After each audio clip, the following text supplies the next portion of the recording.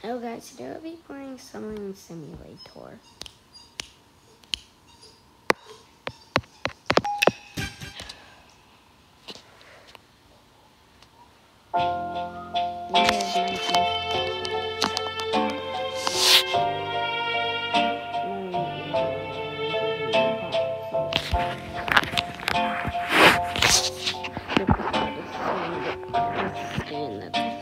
at the bottom of the ocean.